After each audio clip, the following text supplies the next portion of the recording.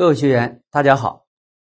以上我们把第一部分的第一章关于矿井施工的相关技术介绍完了。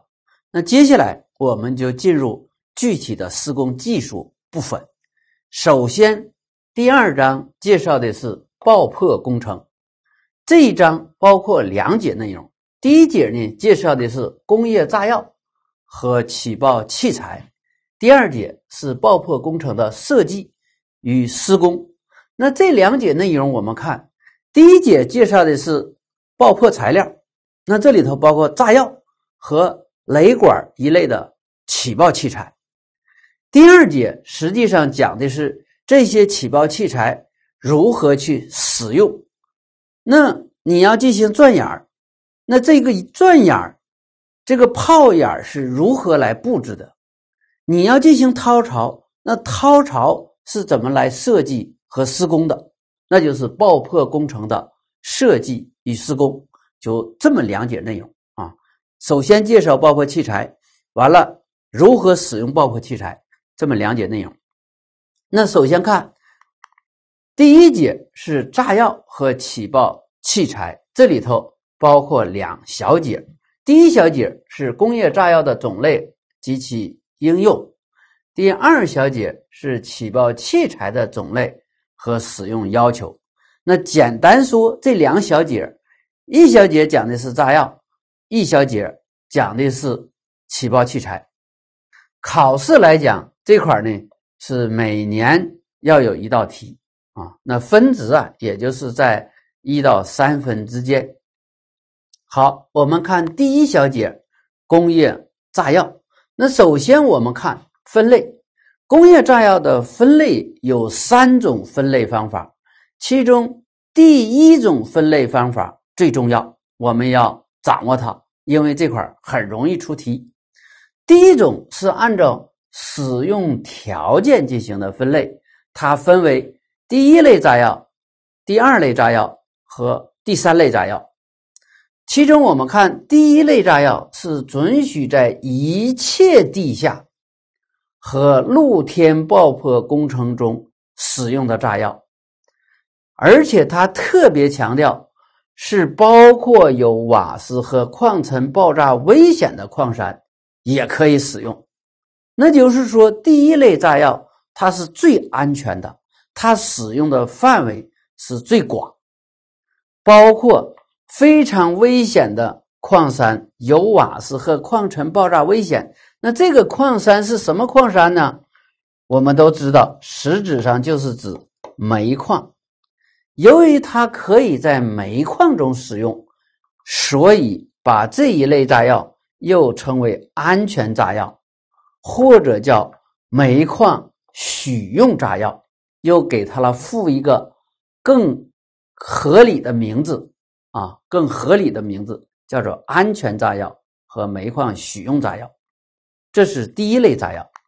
第二类炸药，它的应用范围也很广，它可以在地下，也可以在露天爆破工程中使用，但是只有一种情况它不能用，就是煤矿啊。那这里头说的是有瓦斯和矿尘爆炸危险的矿山。也就是说，煤矿中不能使用，其他的都可以使用。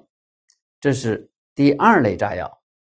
第三类炸药就只允许在露天矿中使用了，那井下任何矿都不能用。这是呢，按照使用条件进行的分类。这个呢，我们要熟悉它。第二种分类方法是按照你这个炸药的主要化学成分进行分类，分为硝胺类炸药、硝化甘油类炸药和芳香族硝基化合物类炸药。那首先说硝胺类炸药啊，这种炸药，这个硝胺硝胺实质上就是指硝酸铵，以它为主要成分的一类炸药。那这一类炸药。它是爆破工程中用量大、品种最多的一类混合炸药。我们使用的炸药绝大部分都是硝胺类炸药。第二类炸药，硝化甘油类炸药啊，它是以硝化甘油或者是硝化甘油又加上硝化乙二醇了为主要成分的炸药，就叫硝化甘油类炸药。那这一类炸药以前在矿山工程当中是有所应用，但是现在用的越来越少了，因为硝化甘油这一类炸药。一爆炸的时候，它的毒性很大，它的泡烟能呛眼睛，能把人的眼睛给这个呛出眼泪来啊！那对这个嗓子黏膜都有不好的影响啊！所以说现在应用的非常少。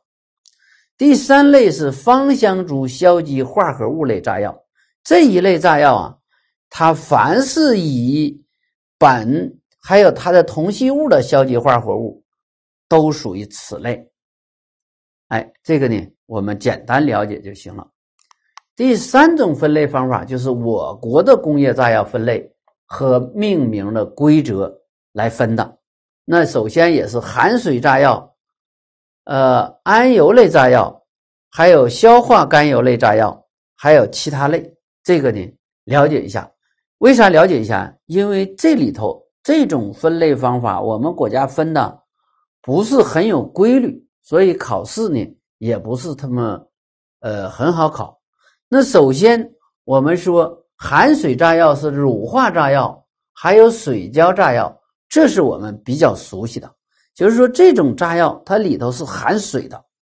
还有一种叫做乳化氨油炸药，也叫重氨油炸药，它也是含水的。那安油类炸药就是我们应用的比较多的这一类炸药啊。好，那其他的我们就不再多说了。接下来我们看对炸药啊有哪些基本的要求。当然，我们炸药是用来爆破，把岩石崩出来，是在这个情况下的要求。那满足这个要求，我们理解这些东西就比较好理解了。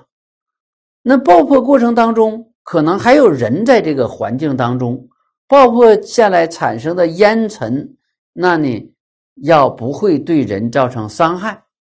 同时，这个炸药使用过程当中还要安全啊。基于这些我们常识性的考虑，那针对炸药的要求啊，这五条就很好理解了。首先，第一个，他说爆炸性能好。有足够的威力，以满足各种矿岩爆破的要求。当然，我们选的炸药要适合我们爆破的岩石的条件，把它确保能够爆破下来。那这是我们能够想到的。第二个就是有较低的机械感度和适度的起爆感度。什么叫机械感度呢？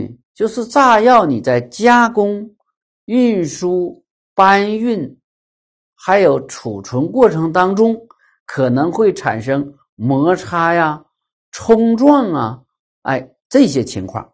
那这个时候你要安全，这样才能保证人员的安全。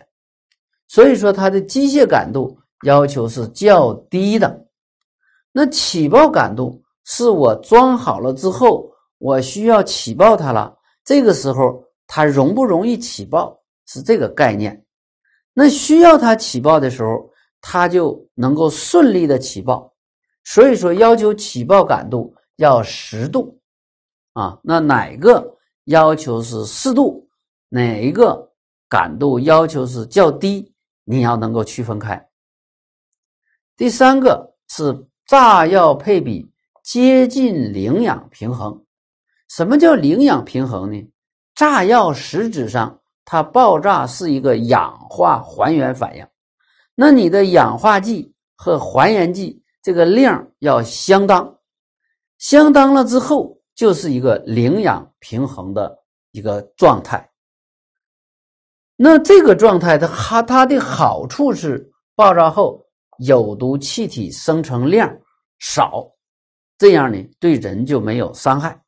这是呢第三条领养平衡，第四条是有适当的稳定储存期，也就是说，这个储存期要适当，在储存期内，炸药的性能要非常的稳定，不会呢降低，这样你在使用过程当中才不会呃变质失效。第五个就很好理解了，说原料来源广泛，加工工艺简单。操作安全，价格便宜，这个你是从安全和经济方面来考虑的。那这个炸药这个五个方面的要求，我们重点关注第二点、第三点和第四点。第二点重点关注它的机械感度和起爆感度的事情，哪个是较低，哪个是十度。第三点注意。领氧平衡的含义啊，领氧平衡了，产生的有毒气体就是少。第三个就是储存期，它是要求有适当的储存期就行。所以这块容易出干扰项啊，所以有长期的储存期，那长期储存炸药是没有任何意义的，只要你适当就可以了。好。那关于分类和炸药的要求这一第一点，我们就介绍完了。接下来我们就介绍几种常用的工业炸药。首先，第一个介绍的就是普通氨油炸药。那所谓氨油炸药，它就是以硝酸铵为主要成分，又加里了柴油，这个是可燃剂，还有木粉、疏松剂、表面活性剂，加到一起混合出来的炸药。那这一类炸药，它有粉状氨油类炸药、多孔粒状氨油类炸药两个品种。那这种炸药啊，它适用于露天深孔爆破和冻死爆破工程当中。那这种炸药，我们看一下啊，它的优点是什么呢？原料广泛，价格低廉，安全性好，加工简单。利于机械化加工和现场混药，也就是说，它用在露天或者是冻死爆破工程当中。那这个冻死啊，不是我们井下的冻死，是我们露天的搞大的冻死爆破。哎，那这个冻死可能里面装十吨、几十吨、上百吨的炸药啊，把这个山把它炸开，那这就叫冻死爆破。不是我们井下掘的巷道有旁边有一个冻死，不是那个含义啊。那也就是说，这种炸药它只是在地面露天工程当中使用，不能用在井下。所以说，这种炸药它是属于这个第三类炸药啊，第三类炸药。那如果可以在井下使用啊，那就是第一类。或者是第二类炸药，那只能在露天中使用，那就是第三类炸药。那它的安优点我们看了，但是它的缺点也很明显。缺点是什么呢？抗水性能差，感度低，完了，呃，临界直径大，威力小，产生有毒气体量多，储存期较短。说这种炸药啊，它的储存期非常的短，有的就是一周。啊，完了之后它就，呃，性能就迅速的下降了啊。这是呢，氨油类炸药，而且是普通氨油炸药。那这种炸药，它有这么多的缺点，所以说人们就研究了，就给它进行了一个改造。改造完了就叫做改性氨油炸药。那所谓改性安油炸药，它的主要成分和普通安油炸药。基本上是一样的，但是对它的硝酸铵燃料油、木粉进行了改性，那就提高了它的爆炸性能和它的储存性能。那提高爆炸性能，使它的应用范围更广了，既可以在露天工程当中使用，也可以在。没有瓦斯和矿层爆炸危险的地下矿山中使用。那这类炸药它就属于二类炸药了。哎，也就是说煤矿中不能使用，但是其他的矿山都可以使用，所以它属于二类炸药。这是改性安油炸药。接下来又这个把普通安油炸药啊做了简单的改造，没有改性那么复杂，那就产生了重安油炸药。重安油炸药又叫做乳化安油炸药。同时，它也是含水炸药啊，它是含水的。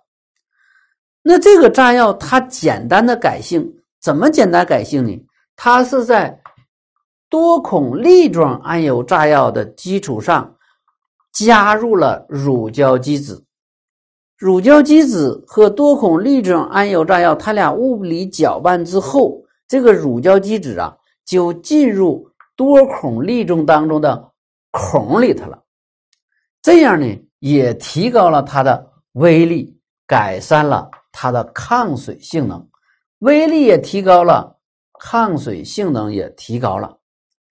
所以说，这种炸药改性完了之后，它就可以用在有水的孔或者是无水的露天爆破工程当中。由于你的改性改的非常简单，非常容易，所以说你这种炸药。也属于第三类炸药，但是可以用在有水的炮孔当中了。你普通的安油炸药有水的炮孔是用不了的，它马上就失效了。但是重安油炸药是可以的，但是它俩分类来讲都是一类，都是属于第三类啊，都是属于第三类炸药。接下来就是第四个，叫喷化硝胺类炸药。喷化硝胺类炸药，我们不再研究它的成分了啊。那各种炸药它的组成啊，这个考的可能性非常小。重点我们掌握是各种炸药它的适用的条件。那喷化硝铵炸药，它是在普通硝铵炸药啊。呃，喷化普通硝铵炸药，它可以在露天，还有没有瓦斯和矿尘爆炸危险的地下矿山使用。也就是说，喷化硝铵炸药它是第二类。好，这几种炸药主要我们掌握它的适用条件。接下来就是含水炸药，含水炸药用的最多的就是水胶炸药和乳化炸药。我们看水胶炸药啊，它是氧化剂溶液，它就不是硝酸铵那个这个固体的粉末了，而是一个氧化剂溶液啊。所以说，这个水胶炸药实际上它是水包油型的结构啊，水包油型的结构。那这种炸药它有很多的优点，我们教材没有讲它的缺点。它有没有缺点呢？也有。我们先说它的优点。优点，它的抗水性强，适用于有水的工作面进行爆破作业。机械感度低，安全性好，爆炸产生的这个泡烟呢又少，有毒气体含量又少，完了爆炸威力又高。所以全是讲它的优点。现实当中，这个炸药它是有缺点的。首先，第一个缺点，它价格比较贵，这样就不经济。第二个缺点，它受冻的时候啊，就会因为它含水嘛，所以说就会失效，性能就会下降。哎，但是我们二建这个教材没讲这些缺点，我们呢了解一下就行了。接下来就是乳化炸药，乳化炸药，你看它是氧化剂水溶液啊，氧化剂水溶液，所以说它也是一个含水的炸药，但是它不是水包油型，它是油包水型啊，油包水型的炸药。那这个炸药我们看它有较高的猛度、爆速和感度，可以用八号的雷管来起爆，而且它的密度范围较宽，在一点零五到一点三这个范围内都可以调整的。那它的抗水性怎么样呢？它的抗水性比水胶炸药还强。完了，加工使用安全，可实现装药的机械化，原料广泛，加工工艺简单，适用于各种条件下的爆破作业。那这里头我们掌握这些就可以了啊。那我们知道，水胶炸药和乳化炸药实质上它都属于第一类炸药，也就是说，它的应用范围都是最广的，既可以在露天，也可以在。井下矿山，而且是什么矿山都可以。嗯，好，这是呢我们介绍的几种炸药，但是呢还有一种炸药叫做煤矿许用炸药，我们要掌握煤矿许用炸药的一个概念。那什么叫煤矿许用呢？就是可以在煤矿当中使用的炸药，就叫做煤矿许用。但是这类炸药。也叫安全炸药，那这个许用是谁来许用啊？是指有关部门批准的，是国家管理部门，人家说允许你用你就用，人家说不允许你用你就不允许用啊。这个不是生产厂家，也不是我矿山企业自己定的，这个都不是。那煤矿许用炸药，我们知道它一定是第一类炸药。再一个呢，也可能是安全炸药，所以说这个炸药的名头当中就要有许用啊、安全呐，有这些字样。只要有这些字样的炸药，就一定是属于第一类炸药啊，一定属于第一类炸药。但是煤矿当中可以使用的炸药啊，还有一些不带许用也不带安全的炸药，那这就是被筒炸药。当量炸药，还有离子交换炸药这三类，这三类炸药实际上不是用来你焊到绝境工程上搞爆破的，它是处理特别危险的情况下使用的。一般的出现比较多的就是你煤矿的煤仓下面这个口堵了，这个时候啊，通过炸药震动一下，把这个煤呀。让它落下去，那这个用的炸药，它需要的威力并不是很大，只是震动震动。但是这个环境是非常危险的，因为这个封闭的环境当中堆了大量的煤，这个煤呀当中的瓦斯会慢慢的解析出来，所以说这块的瓦斯是非常浓度非常高的。那经过研究，普通的炸药。安全炸药是不敢用，就特意研究出了被筒炸药、当量炸药和离子交换炸药，用在这个环境当中、这个条件下，啊，所以这个呢，我们稍微注意一下。虽然没有安全和许用的字样，但是这三种炸药是可以在煤矿中使用的。那煤矿许用炸药啊，我们说它是属于第一类炸药，但是。第一类炸药，它也有个分级，也就是说它是安全，但是安全的程度也有个分级，分为一二三四五级。那这五级是什么关系呢？级数越高，安全程度越高，也就是说五级是安全程度最高的。这种炸药非常安全。那你就可以把它用在非常危险的环境当中。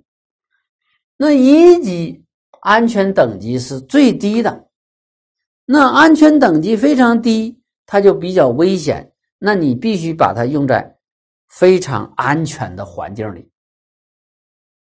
所以说，这五个级别的炸药分别用在什么环境，我们呢要对上号。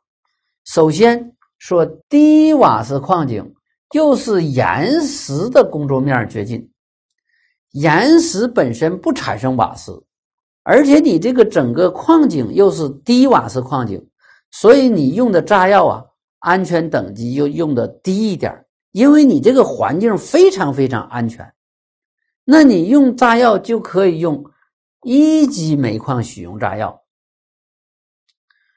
如果是低瓦斯矿井，你是煤层进行采掘工作面，或者是半煤岩掘进工作面，这个时候你就可以用二级煤矿许用炸药。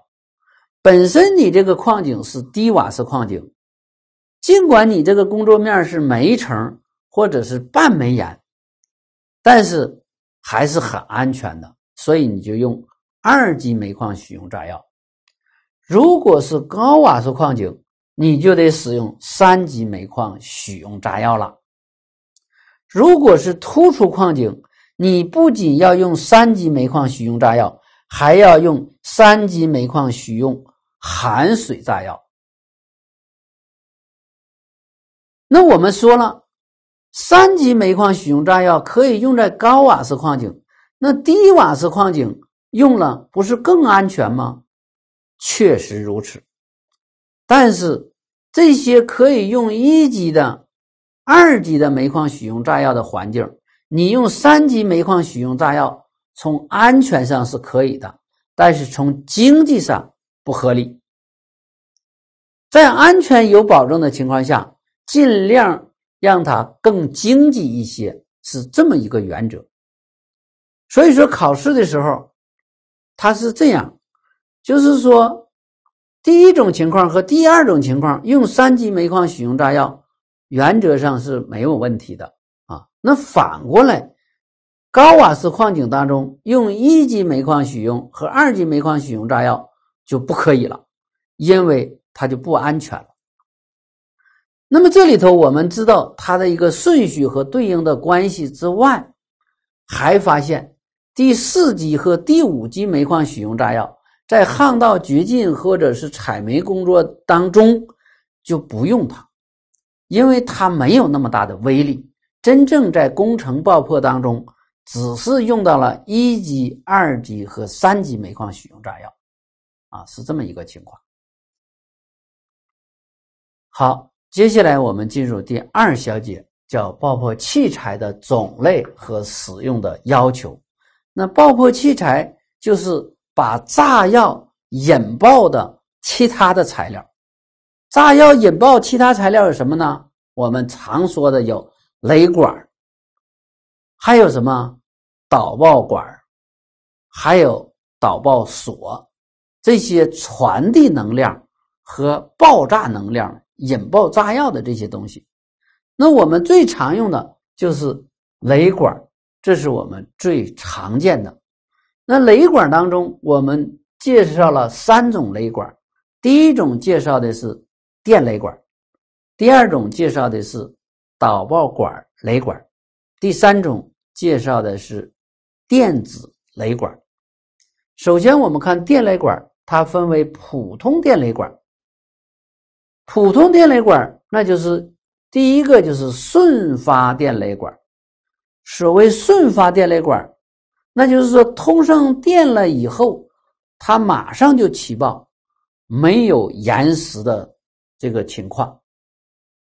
那它的结构是通过电缆桥丝产生的热量，马上就把起爆药给起爆了。起爆了之后，又引爆了猛炸药。我们看这个电缆桥丝啊，它一个是插到起爆药里面了。还有一种，这个桥丝和起爆药啊挨得很近，一通电发热之后，这个起爆药它非常容易起爆，但是它能量不是很大，但是我起爆很容易，起爆了之后，它能够把猛炸药给引爆，猛炸药的威力就非常大。第二种是秒延期电雷管，也就是说它的延期的时间。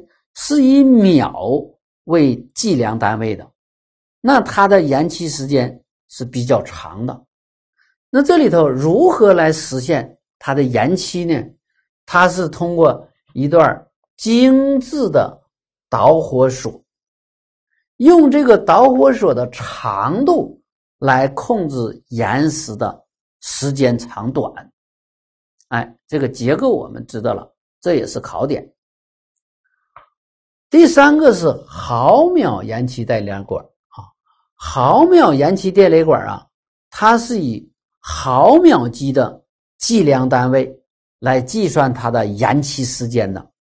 毫秒和秒，它俩是差一千倍，也就是说，它虽然也有延期，但是延期的时间非常的短啊，非常的短。那这个延期的。方法是如何来实现的？它也是加了一段延期药啊，也是加了一段延期药，但是它不是导火索，导火索那个是以秒为单位才用它，所以它的精度不是很高。但是以毫秒延期这个比较复杂，我们就不再讲了。二建这个教材没提这个事儿，我们也不说了。那普通电雷管啊，可用于地下和露天爆破工程当中，但是煤矿是不能使用的。这是我们介绍的这个第一个普通电雷管。第二个介绍的就是煤矿许用电雷管。所谓煤矿许用电雷管，就是说可以在煤矿当中爆破当中使用它。那这种。它又称为安全电雷管。你看这个“安全”的字样又出现了，也就是说，炸药那块儿，你要想在煤矿中用，你这个炸药就得是安全的许用的。那雷管这块儿也是如此，你要想在煤矿中使用，你就得是有安全的许用的字样在里头。那这个有这个名称当中有这个字样了，那就是可以使用的。那这个煤矿许用电雷管，包括煤矿许用瞬发电雷管和煤矿许用毫秒延时电雷管，它就可以用在煤矿当中了啊。那这个煤矿许用电雷管啊，它是在普通电雷管的基础上做了改造。那这块的考点呢，就是说改造的措施有哪些？我们掌握这个事儿，那这里头总共有六个措施，其中第一个措施就是在普通电雷管的基础上，我这个外壳啊不是用铁壳，也不是用的铝壳，那用什么壳啊？一般的是铜的，这是第一个改造。第二个就是不允许使用聚乙烯绝缘爆破线。因为电雷管它有两根线是导电用的，这个线呢外面是包着塑料皮儿的，那这个塑料皮儿不允许用聚乙烯，因为它一爆炸聚乙烯会燃烧。那你这个皮儿用什么呢？要用聚氯乙烯，因为家里头氯了，它就有了阻燃的效果，它就是难燃材料了。就是不容易燃烧，这样呢就安全。第三个是在加强药中加入了消炎剂啊，消炎剂一般是用食盐，用氯化钠，那控制它的爆温、火焰的长度和火焰的延续的时间。第四个是雷管底处不做窝槽。改为平底儿，一般的雷管啊，它是这样，就是说，哎，这块一掐，那这块呢，当然这是掐上了，这是两根绞线出来，那这块啊，它是做这么一个窝槽，那雷管一爆炸的时候，这个炸药就从这个方向喷出去了。那你煤矿使用这个雷管啊，是不允许做这个窝槽。因为能量太集中了，容易引起瓦斯爆炸，那就做成平底的，让它一爆炸，这个能量啊向周围均匀的扩散，啊，这样呢，这个威力就下降一点，就安全一点。这是第四个措施。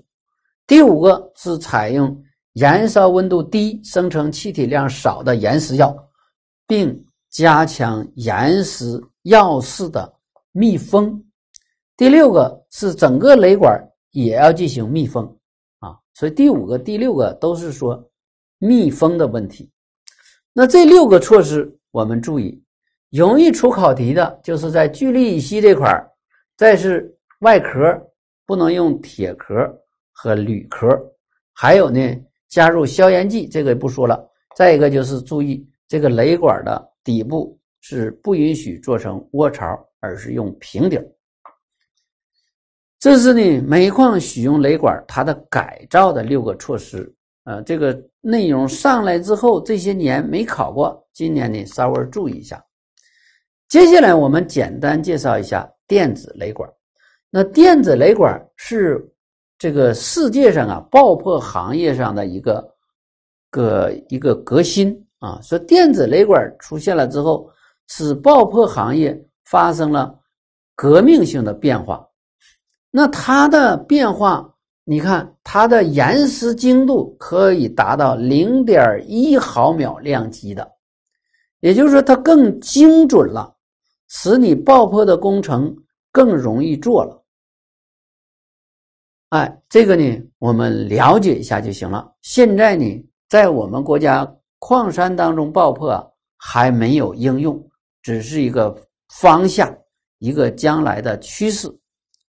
但是不管是煤矿的许用的电雷管还是数码电子雷管，它如果是延期的，那延期时间都不得超过一百三十毫秒。那这个是统一的一个数字，我们注意一下。好，第二类雷管就是导爆管雷管。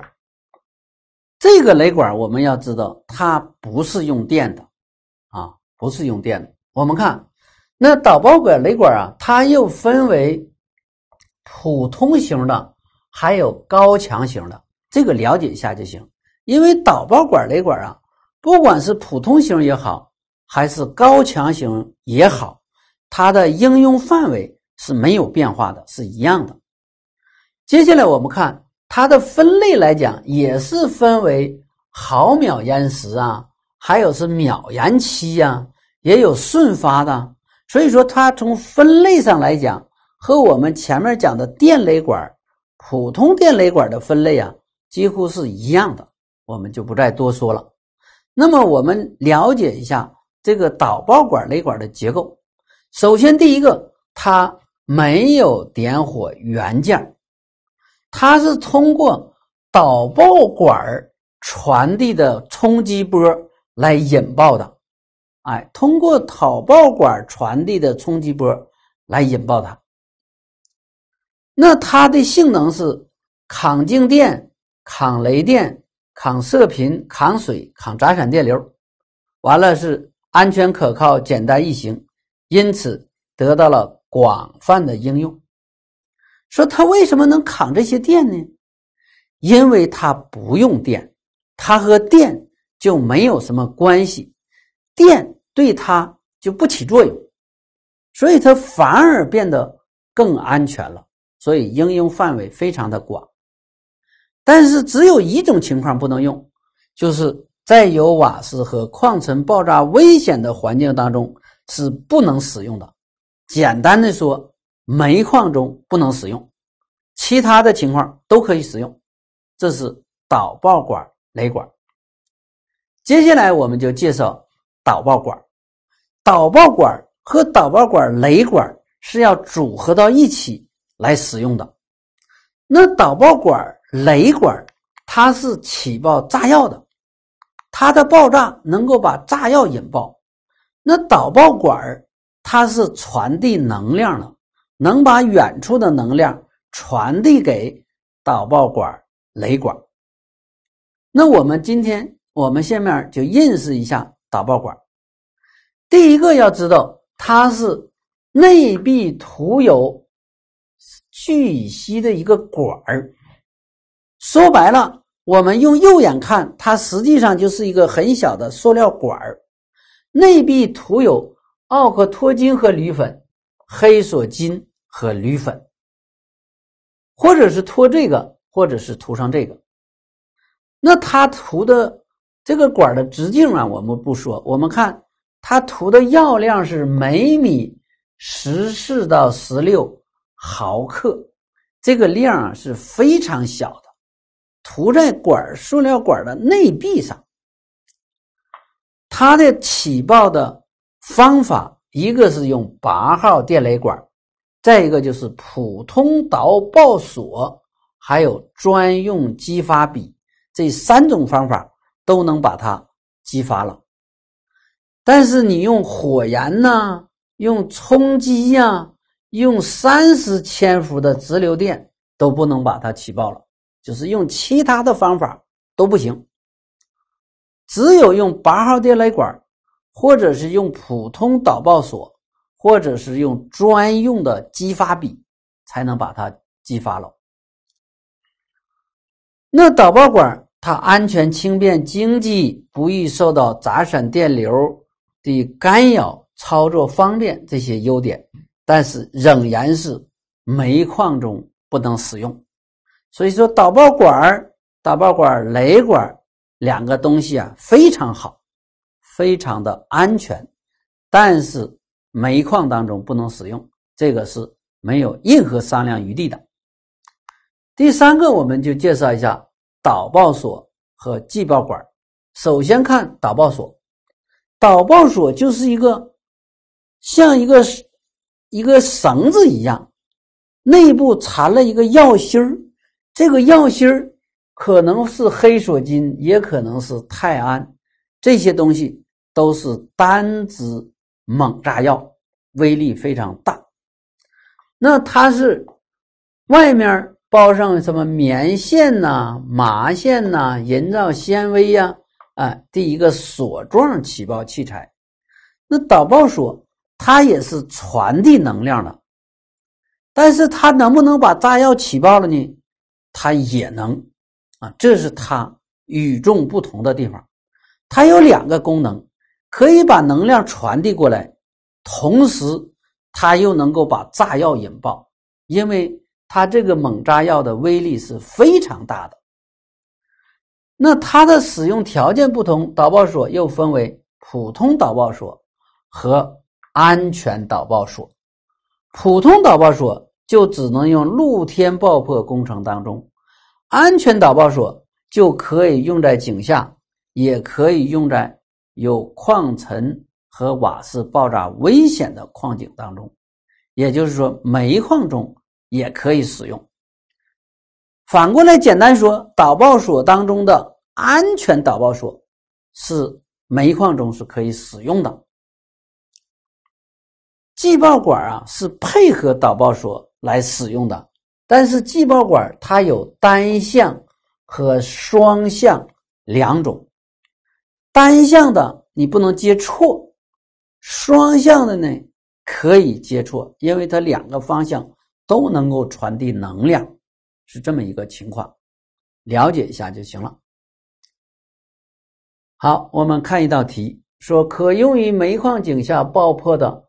煤矿许用的起爆器材是哪一个？A 是顺发电雷管，那顺发电雷管从它的延期时间上看是可以的，但是它没有安全呐、许用啊这样的字样。那我们留个疑问，就是说它也可能行，也可能不行。是这么一个情况，那我们再看其他的选项，那这里头出现了导爆管儿。我们知道导爆管儿、导爆管、雷管都是在煤矿当中不可以使用的，所以这个就毫不容易的把它擦掉了。第三个是安油炸药，我们知道安油炸药包括普通安油炸药、改性安油炸药、重安油炸药。硼化硝铵炸药，这些炸药都不能在煤矿中使用，所以说安油炸药也就擦掉了。D 是说岩石水胶炸药，如果没有岩石的字样，就说水胶炸药的话，还没有说它在煤矿中不可以使用。但是你前面加了岩石了，那就煤矿中就不能用了，是专门用来。岩石巷道掘进使用的，所以说也可以擦掉。那么顺发电雷管呢，它也分为普通的和煤矿许用的，但是呢，这里头没有说究竟是哪个。但是你这里头 B、C、D 你不能选了，所以说无奈之下只能选 A。这个题啊就是选 A 的。说经过批准，允许在煤矿井下特殊条件下，也就是有瓦斯的情况下使用的炸药或起爆器材，就称为煤矿许用爆破材料。主要有五个等级的煤矿许用炸药和煤矿许用。毫秒延时电雷管、煤矿许用顺发电雷管啊，所以这个题啊就只能选 A。好，那么这一讲我们就到这儿，谢谢大家，再见。